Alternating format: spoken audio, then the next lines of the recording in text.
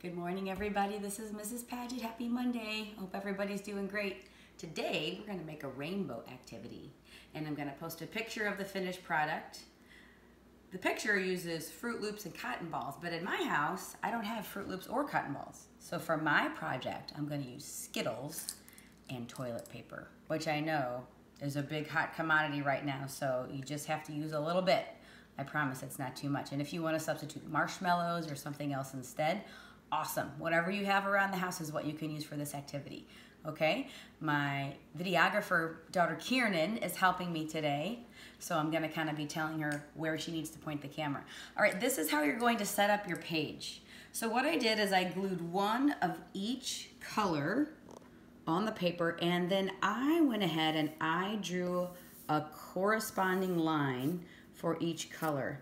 And so that way the kiddos know exactly where they need to be placing the items.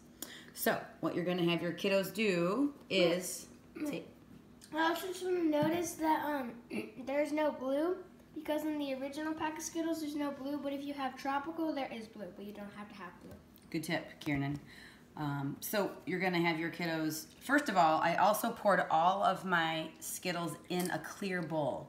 That way the kids have to use their visual skills and figure ground and figure out, okay, where is purple or where is orange? And then they have to target where their fingers need to go to pick up the color that they need. And that's a great skill also, okay? So you're gonna have your kiddos take the glue bottle and this is a great hand strengthening activity because they're gonna use two hands and they're going to squeeze the glue on the line, on the line.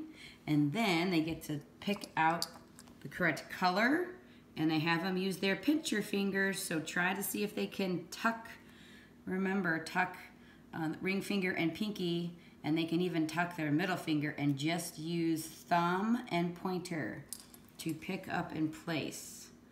Okay, so this is great targeting. This is great grading of movement because they have to be careful about where exactly they place the colors. It's also obviously working on development of a pincer grasp. And so they're gonna do that all along for each color, okay? And you can help them, but if you draw the line for them, it's really gonna help with um, guiding where they squeeze the glue. And then, I didn't have any cotton balls at my house, so I'm gonna use toilet paper. Come on in, Kiernan, so that they can see what's going on here. So, I have a roll of toilet paper. I'm gonna take a square, and I'm gonna use both my hands and I'm gonna use my fingers and squeeze really, really hard to bunch it up nice and small, okay? And maybe let's do a couple of those so you guys get the gist of what's going on. So you have to squeeze, have your say squeeze, squeeze, squeeze, have them use their muscles and their fingers, okay? And then we're gonna put the clouds right here. Karen, can everybody see what's going on here? So you can have your kids squeeze the blob and put on a cloud. Squeeze a blob, put on a cloud, okay?